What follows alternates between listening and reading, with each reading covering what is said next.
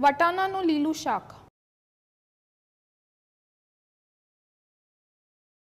hi welcome to Sanjeev Kapoor Khazana मैं हूँ ऐशा और आज हम बनाने वाले हैं वटाना नो लीलू शाक चलिए देखते हैं इसके लिए हमें किन किन चीज़ों की ज़रूरत है डेढ़ कप हरे मटर एक इंच अदरक कटा हुआ दो हरी मिर्च कटी हुई दो बड़े चम्मच तेल एक चौथाई छोटा चम्मच हींग आधा छोटा चम्मच राई तीन छोटे चम्मच धनिया जीरा पाउडर आधा छोटा चम्मच लाल मिर्च पाउडर, नमक स्वाद अनुसार, आधा छोटा चम्मच गरम मसाला पाउडर। सबसे पहले एक नॉन स्टिक पैन में हम तेल को गरम करेंगे। तेल जैसे ही गरम हो जाए, उसके अंदर हम डालेंगे हींग और साथ में डालेंगे राई। राई जैसे ही फूट जाए, इसके अंदर हम डालेंगे अदरक, दो हरी मिर्च कटी हुई, इन सबको अच्छी तरह से भून ले।